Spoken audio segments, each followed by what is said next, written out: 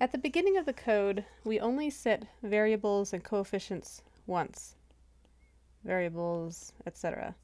And those assignments should be completed very quickly. But in the time stepping loop, time loop, we are repeating all of the EZ and HY updates over and over and over again at every grid cell and for every time step.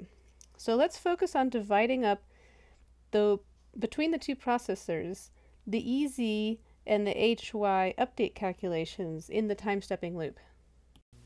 To figure out how we should divide up the EZ and HY updates, we should look at the update equations that we are, are applying to all of our field components across the grid and over time. If we examine these equations, we can see that in order to update any field component, we only need the value of the component at the same position that we're updating, and then only at the two neighboring positions as well.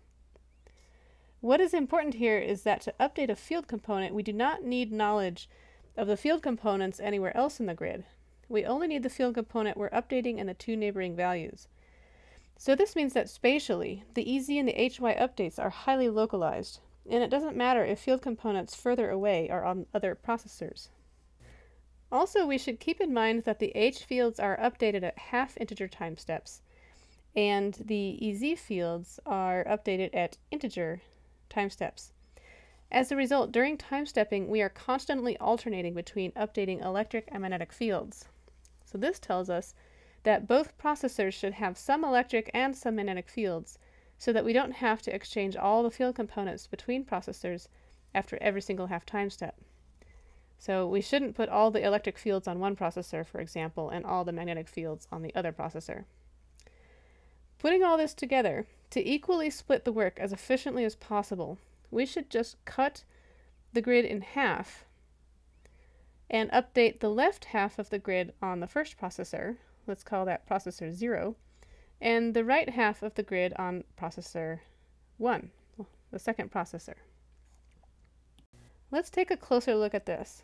Consider a one-dimensional FDTD grid like the one shown here, where Imax here is equal to 10. We want to split this model onto two processors. To give each of these two processors the same amount of work, we should split the grid as equally in half as possible. So perhaps let's put all the field components up to one, two, three, four, five. So this is EZ five. Let's put this on processor zero. And then starting with the next H component, we'll put the rest, six, seven, 8, 9, and 10. So this is Imax, and this is HY5. So from here on, this will be processor 1. Looking at these two subgrids, for which components on processor 0 and 1 can we still perform regular updates? So regular updates. And for those components we can't perform regular updates on, what exactly do we need to do or change in the code so that we can update those field components? Presumably we need to send some data between the processors. What exactly should we send between the processors and when should we send it? Ultimately, we want to obtain the same result from this code split between two processors as we did earlier for the code that ran on a single processor.